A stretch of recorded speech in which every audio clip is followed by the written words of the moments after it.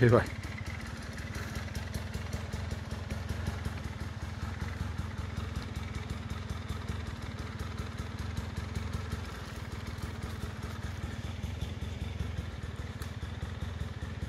É que nos putos vídeos non parece o empinado que é, eh? Xa. Nunca se dá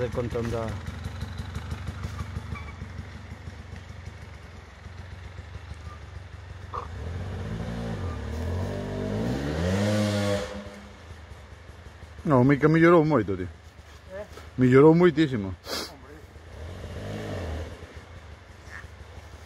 Caralho, ao principio... Uf.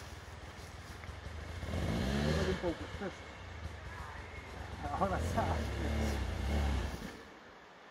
Ai, ai, ai.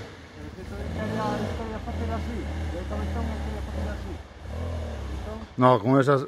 Ahora ven terceiro. Eh?